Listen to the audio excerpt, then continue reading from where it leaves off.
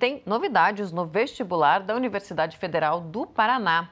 Já foi divulgado o ensalamento da segunda fase do processo seletivo. Vamos voltar então a conversar com o repórter Bruno de Oliveira, que tem todas as informações.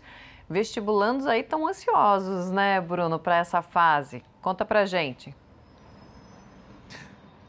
Pois é, Gisa, bastante ansiosos, viu? E olha que eu andei fazendo reportagem esses tempos atrás com estudantes que estavam se preparando para o vestibular e o clima de ansiedade já era intenso antes mesmo da prova acontecer. Imagina agora para quem passou para a segunda etapa, né? Olha só, a Universidade Federal do Paraná divulgou por meio do seu núcleo de concursos o comprovante de ensalamento para quem vai então fazer esta segunda etapa da prova. Para acessar é só ir no site nc.fpr.br,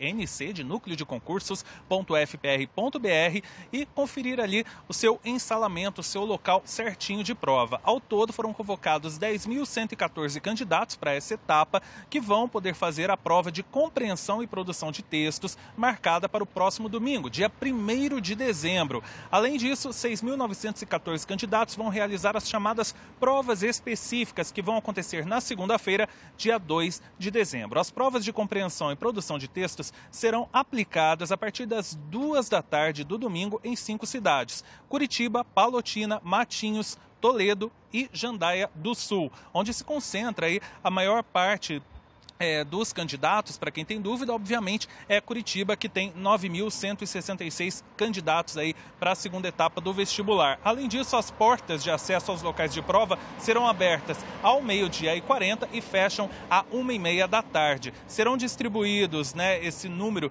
de candidatos né, que nós temos em 254 turmas em 11 locais de provas, dos quais 7 serão em Curitiba. O núcleo de concursos da Universidade Federal do Paraná mobilizou desta vez 901 colaboradores para a aplicação das provas. Para poder fazer a prova, é preciso apresentar documento oficial de identidade com foto recente. Pode ser o documento físico ou digital, mas lembrando, é o documento do aplicativo, não pode ser PDF, não pode ser fotografia.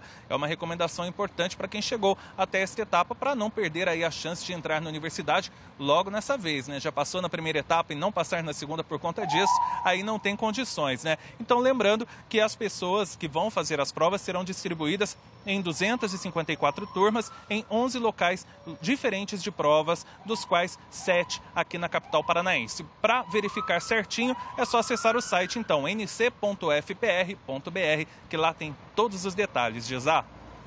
Tá certo então, Bruno. Muito obrigada pelas informações.